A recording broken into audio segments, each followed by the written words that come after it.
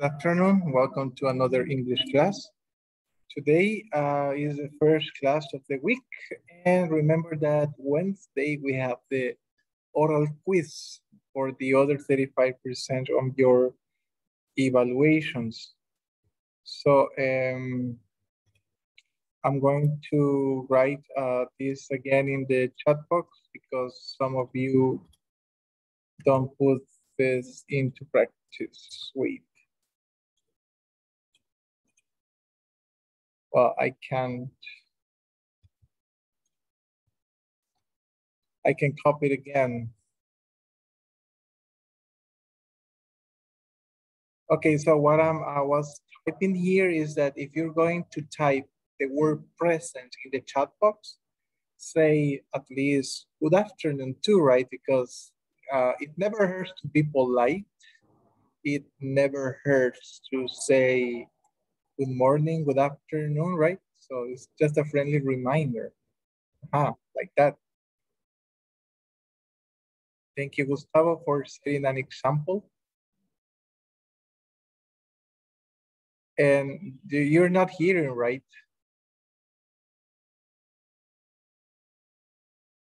After this, I'm gonna show you today's lesson. We'll start working on the English ID unit number four, if I'm not wrong. Yeah, it's unit number four.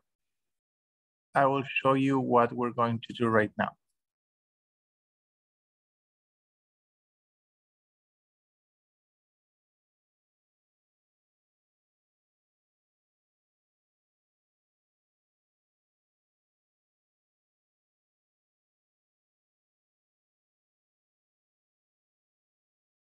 There we go unit number four is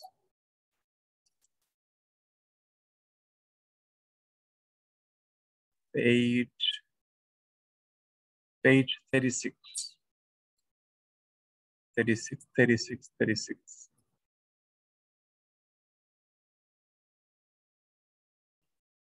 were you a spoiled child so someone who is spoiled it is someone whose parents never grounded. Uh, someone spoiled is someone who receives everything that he or she wants. And that creates some um, annoying behavior on people. Uh, a spoiled child or spoiled children are very annoying because they think they think that everyone or everything goes around them. You can say that spoiled children are the ones who have no brothers or sisters, that, but this is not true. You might be spoiled and you may have siblings. You may be an only child. So it, that, that, is, that doesn't matter if you're an only child or you have siblings or not.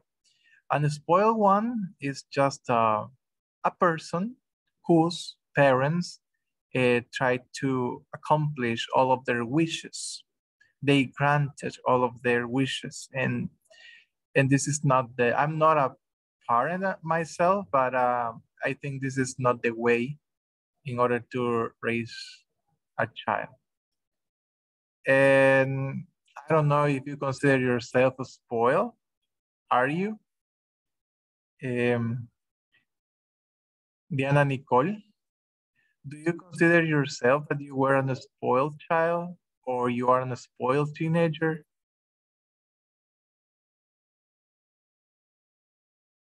What can you say about it? Or Adriana Abrego?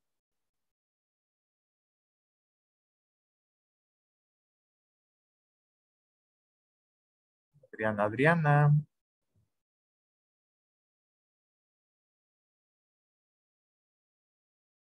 Daniel Bonilla.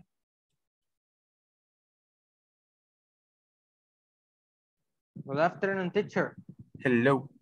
Uh, what do you think? Do you consider yourself uh, that you were an spoiled child or an spoiled teenager? In Honestly. my opinion, in the past few years ago, yes. okay, and now?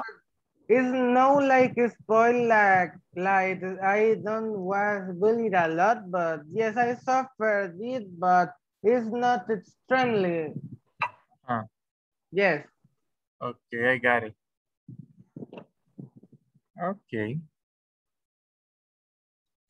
So uh, maybe, well, I don't know. Uh, is being spoiled by your parents or by your grandparents sometimes it's considered bad since you got a personality like I don't know, like this guy's right here, and I don't know. It, it got an, a positive side. Maybe it does. Everything got uh, pros and cons. I, I I suppose because I was spoiled by my grandmother, but my mother did not spoil me. So. Uh, yes, teacher. It depends because, uh, for example, uh, forever everything has a limit have a limit you know for uh -huh. example you can spoil with your friend if you know that your friend won't be bad if you spoil with him or her but if you know that your friend feels very bad if you spoil him or her it's not recommended it's like -huh. that it depends because if I spoil with my family, but with a limit, it's like, ha ha ha. Yes, of course, it's good. Mm -hmm. But if we spoil and we reach the respective limit, it's like, uh, please stop. Mm -hmm. Yeah, and something that I think um, that is positive is that they show you that they love you, that they care, take care of you. The problem is when when parents start like you know, like justifying or condoning their children's children's, yes, in this case it's possessive children's behavior. For example, um, this is just an example. This is not uh, anything that has happened to me recently. But let's say that I call to one of your parents reporting that you're not in class or that, that you are online or you appear online. But when I ask you questions, you don't respond. And then I call uh, your father or mother and they, they know, they know that you're not paying attention because just, just you don't feel it, you you don't want it.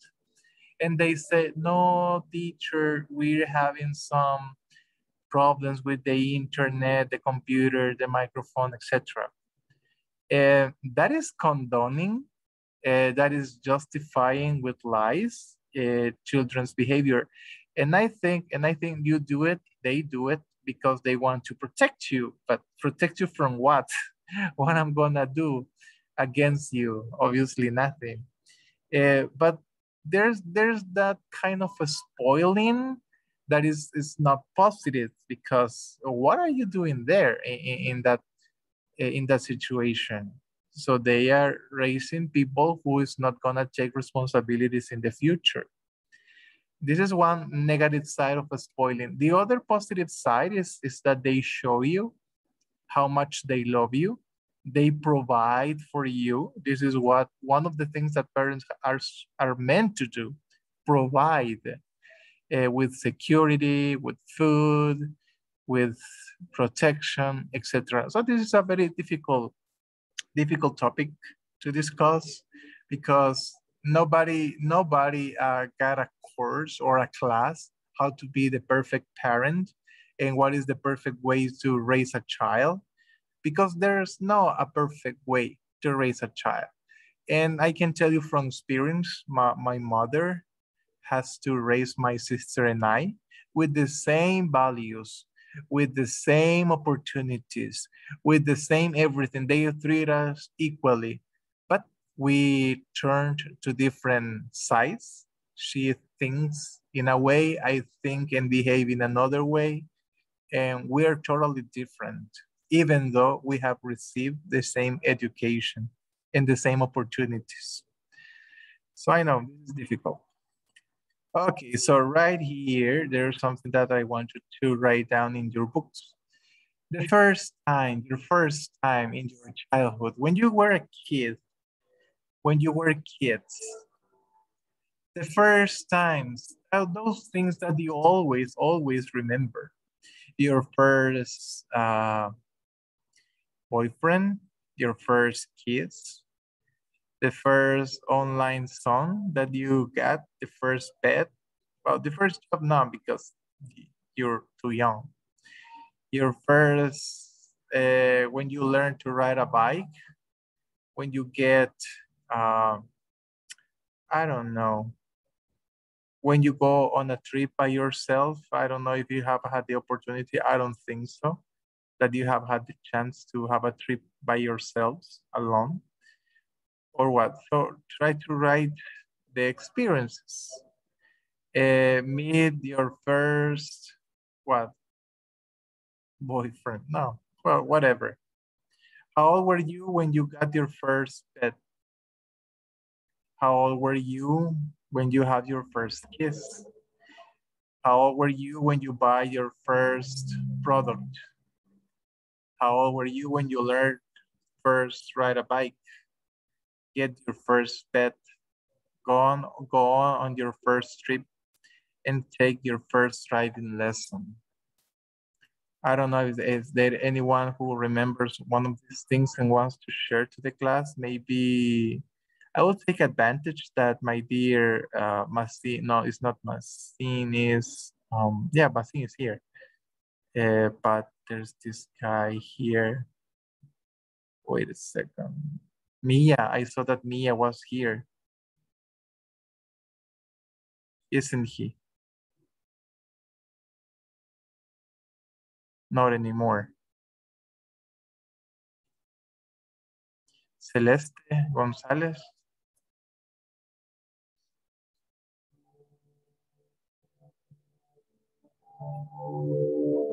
Not around. Genesis Castillo.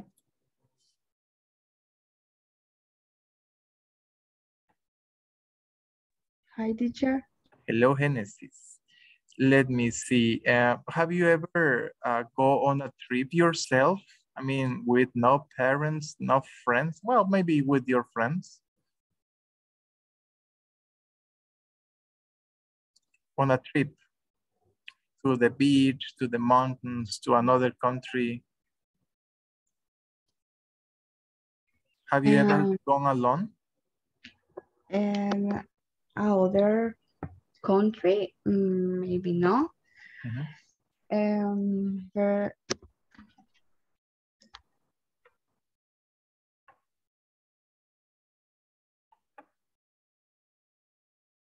But do you remember a trip with no parents?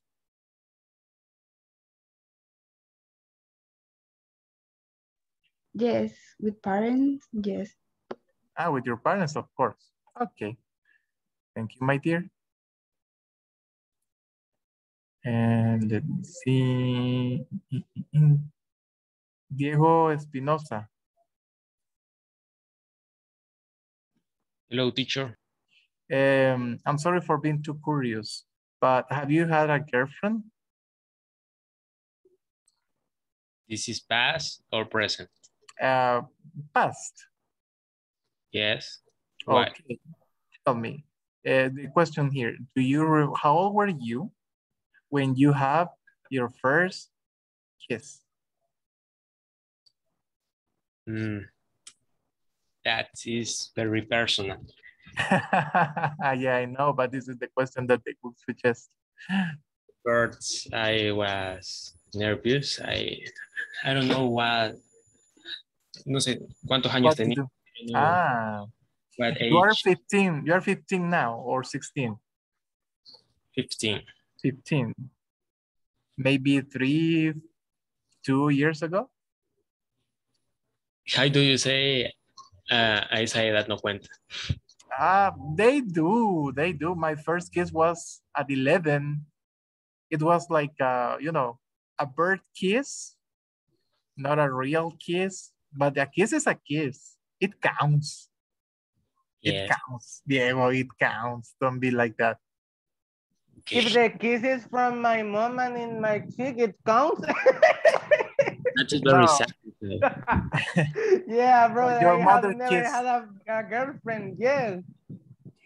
No, Okay. this is difficult to say, right? Yes, it's personal. Very personal. Yes, this book is very nosy. New in this uh, in this school, and I personalmente I don't em, conocer, no conozco casi nadie, solo a Ujú. la Entonces, contar esto aquí se necesitan como un año More- de More confianza. confidence. Sí. Okay, good. Have the reason, bro.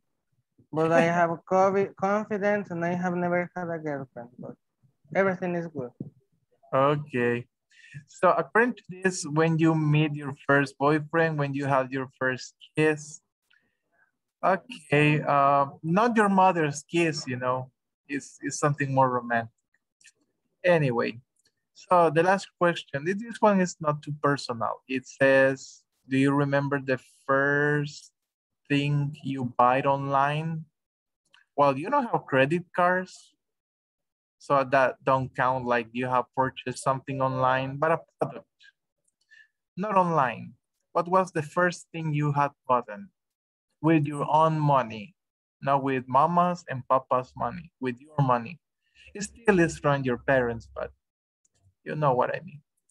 Eh, maybe Genesis Hello Week. I- Is she here? Hi, teacher. Hello, hello. Week. Do you remember the first thing that you have bought? Not online because you don't have credit card. And if you had purchased something online, it's with your parents' credit card. And that doesn't count. So what is the first product that you bought in your childhood? Do you Uh, repeat, please. Okay, the question is, what is the first thing, the first product that you bought as a kid? Uh, clothes.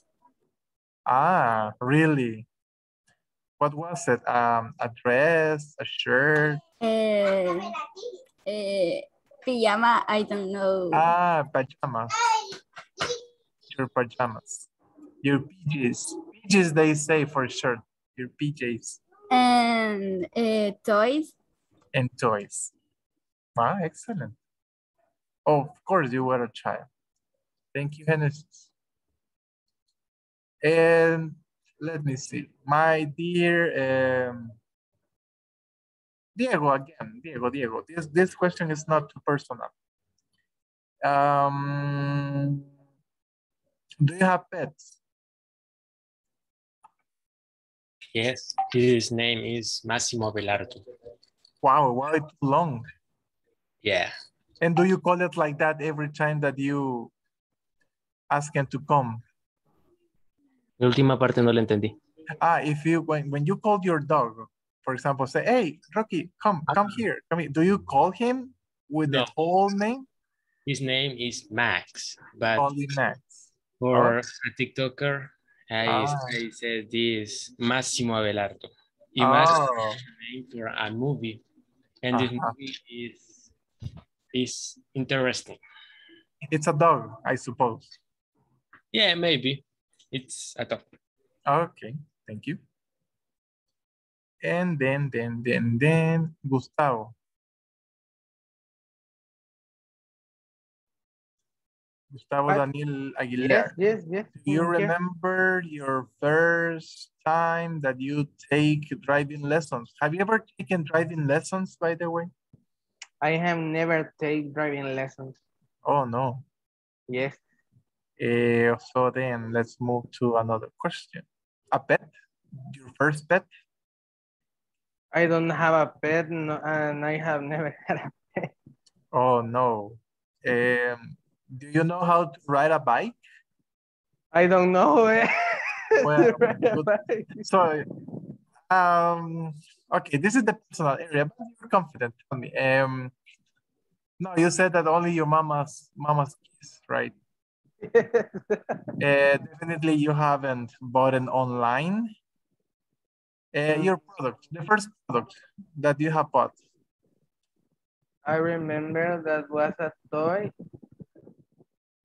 Which because one? it, I, was a child. No, Of course, of course. The first time is always innocent. yes.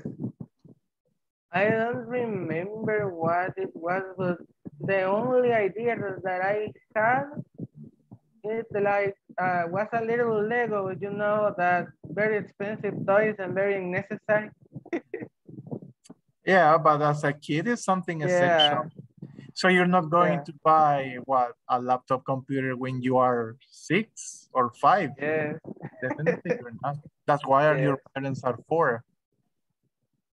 Okay, thank you guys for sharing these uh, questions. Uh, then we have a an analysis here. What kind of kid, what kind of a child were you? According to this psychologist, I don't know if he really exists. I'm gonna Google it just to verify if the source is, is legit.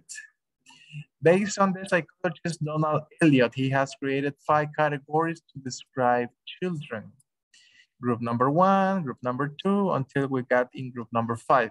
They got different descriptions. Uh, there are the adjectives that best describe these kids and the things they, they do.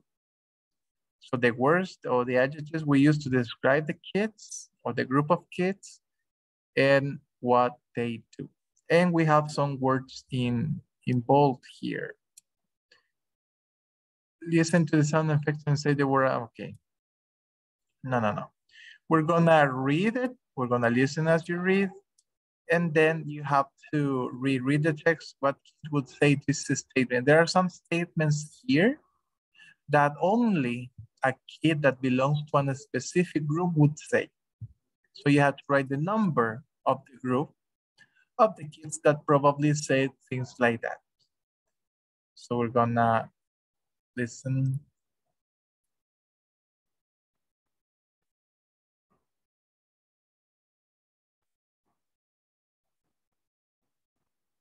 Oh, wait a second.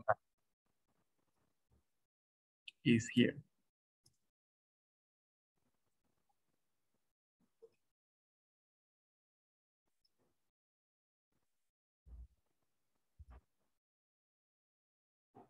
Well, actually, there's not an audio. There's not an audio for this, it's just reading. So based on the intensive study, psychologist Donald Elliott has created five categories to describe a typical child ages from four to 10. Here's a summary of his study.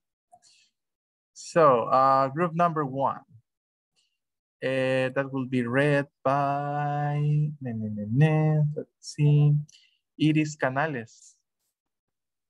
Iris Iris,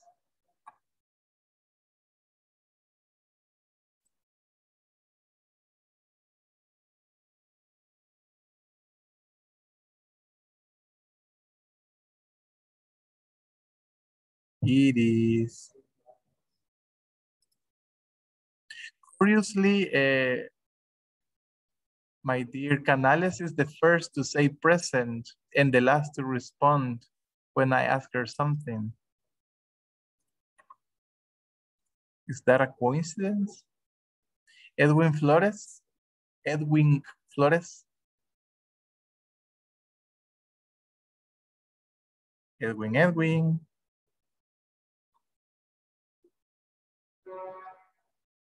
Edwin Flores, not here.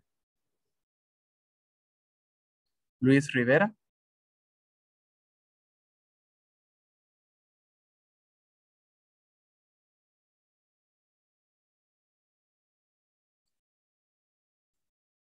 Hello, Luis. Uh, can you read?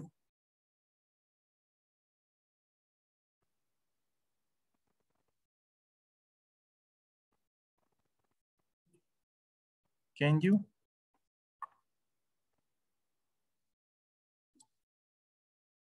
Oh, you can't. Okay, Luis, I understand. Okay. So, um,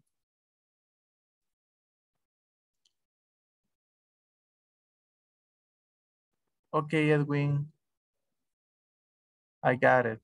I'll try to fix your problems for Wednesday because for Wednesday you have an oral evaluation.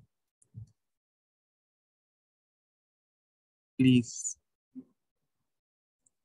Okay, it is. Can you read?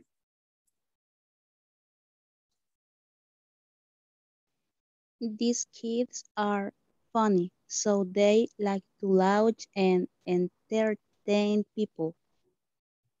These kids are active and creative, so they do many activities at the same time and never get tired. These kids are social, so they make lots of friends their own age or older very easily. Thank you very much. It is. Group number two, please love me kids. So they, they are kind, always helping people in trouble, hardworking, like to do well in school to make their parents happy, sensitive, cry if other kids make fun of them. Group number three, uh, Daniel Aguilar, please.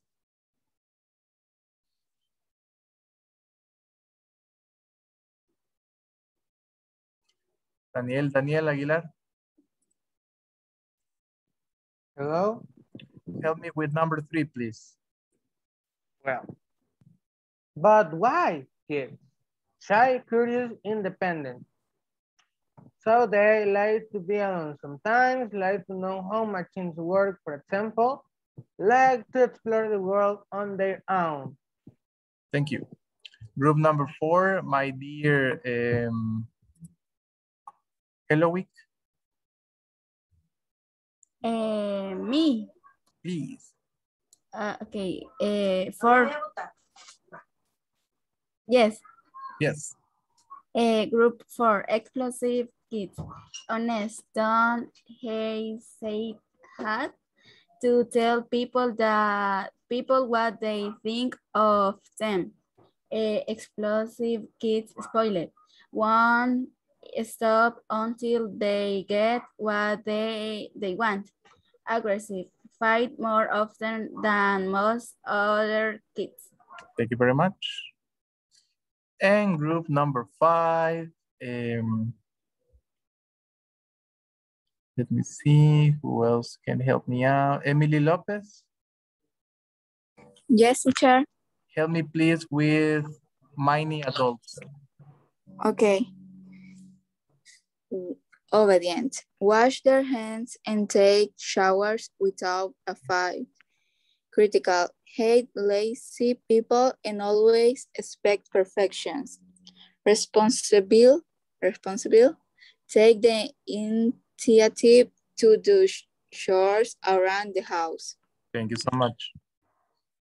All right, so we have the description of the five groups of kids. Maybe you fit in one of them, maybe you're not, or maybe you are in between things. We say, no, teacher, I'm kind of group number two, but I also have some some uh, some traits of group number three or from five and one. So sometimes you're not pure one group. You don't purely belong to a specific group. Maybe you are a combination of a couple of groups. Uh, I do not consider like any of those. When I was a child, I was kind of shy, you know. But anyway, um, this exercise, uh, you have to classify which kid will say this. I want the new iPad tomorrow, daddy. No, not next week. I want it now. So that definitely is group number four. The ones that fight more often, well, they will not stop until they get what they want. And let me check the, the answers. Just for you to check because the time is, is up. Here is group number four, number three, number one, two, two, five, four, four, three, one, two, two, five, four. And that will be it for today. Thank you. Um, and like I said at the beginning of the class, uh, try to please, please, please get ready for Wednesday's uh, evaluation. Okay? Have an excellent afternoon. Thank you very much.